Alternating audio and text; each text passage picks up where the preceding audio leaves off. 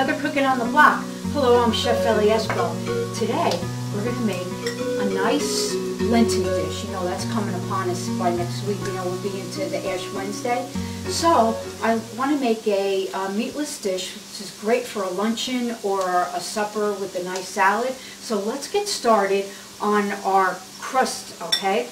Now, what you're going to need is a springform pan, and I have it sprayed with a little pan spray so, you know, it doesn't stick. So, what I want to do is, I have flour, a stick of butter, and I'll get all the um, recipe on the website for you guys. And I want to add some salt. And we're going to add a nice addition of aniseed. It smells really great. It's like a sweet addition to the crust. Okay, you know you use it in like, you know, your biscottis, you know, the Italian cookies. It really gives it a nice um, aroma, especially when it's baking. Okay, now we're going to also add a few handfuls of cheddar cheese. Okay, this is just like your grandma made, uh, used to cook, right? Handfuls, no cups or whatever, but I'll, I'll give you the right amounts. But what you need to do is just sort of take your hands and mix it well. Use your hands as a pastry cutter. Okay, it's nothing wrong with your hands. Okay, now what we're going to do is just press it into your pan firmly. Just get it down there with your hands. How easy is this? You know, no rolling, nothing like that. Okay? I'll show you what it looks like. Just press it right down, nice and firm, and get it up a little bit up the sides, not too much, but just so it's nice and firm. Okay, so we're going to set that aside. All right, now let's get ready for our filling. Okay, now I told you it's made with vegetables, okay, and you can really use any vegetable, but I normally make it with zucchini, and I have some yellow squash here today, and I'm also going to use some spinach. So get, try to get a lot of vegetables in there because um, it's healthy and it's a good way to use up stuff you have in the refrigerator. So what I have, I have sweating in my pan here with a little bit of olive oil is one sweet onion and two garlic cloves minced, okay? And I sweated that out, not caramelized, you just sort of want to sweat it out, get the juices out. Okay, now we're going to cook down our zucchini, and when we come back, I'll show you the other ingredients we're going to add to it, and we'll get the torta in the oven. Okay, I have a bag of pre-washed baby spinach, and I started to wilt it down into the um, sauteed zucchini and yellow squash with the onions and the garlic. Okay, and you just want to give it a quick stir and it's going to wilt really fast. Okay, and you just keep going with it. And we're going to salt.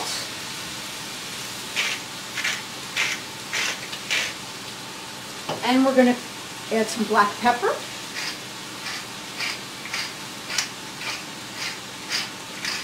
Generous amount. Okay, seasoning is very important. Okay, this is looking really good and it's smelling amazing. Okay, let's take it off our heat. We're going to bring it over here. Okay. Now, you know, the heat of your pan is still cooking the spinach down. Look at it go. It looks down to nothing. Okay, now, for the rest of our filling, I have some rice here, okay, and I cooked a arborio rice, okay, one cup of it, and it yields two and a half to three cups of cooked rice. I don't really need that much. I'm going to use it for something else, so I'm going to use about two cups of rice, cooked rice. So if you have leftover rice from, you know, your Chinese takeout, or you had it the night before from a recipe that you made, feel free. It's, it's a great way to use it up. Okay, now we're going to add our veggies. And we'll temper this down a little bit with the cold rice before we add our dairy and our eggs. Okay. It's looking good already, isn't it? Okay, so get all those good crudulums up. You should have that, the nice caramelization of the onions and the garlic. Okay. And my oven's ready. I have a preheated oven at 350 because our torta is going to go in there for about half an hour. Okay. Now, for the rest of our ingredients. Okay, we're going to add the rest of the cheddar cheese, and it's about a cup and a half. If you want to add a little more, no problem. I love my cheese. Okay.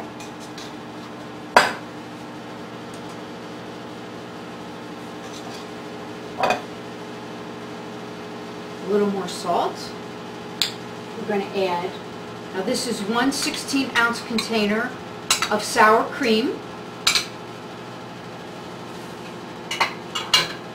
Okay, now we're going to crack our eggs, and we have five. These are extra large eggs. Okay. Just give that a good mix. Get that out of the way. Just want to incorporate it, get it nice and smooth.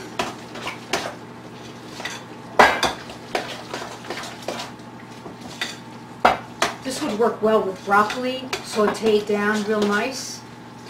Get it really soft. And you can change out the cheese. You can use anything. Asiago would be nice.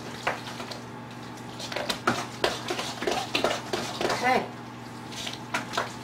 That looks very well mixed, in my opinion. So, we get our crust now. And we just put the filling in. Look at that. Okay, and this is a 9-inch springform pan. Okay. This is going to get nice and golden brown and puffy and cheesy. It's going to be delicious.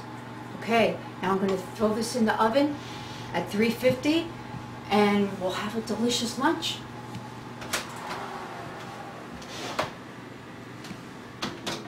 Look at this beautiful torta. Ah, the smell in this kitchen. You know what I'm smelling? The anise. In the, it smells like cookies, like you know your Italian cookies. It is so good and goldeny brown. Look how beautiful, Anthony. I bet you can't wait because this is your dinner. All right, it got nice and golden brown.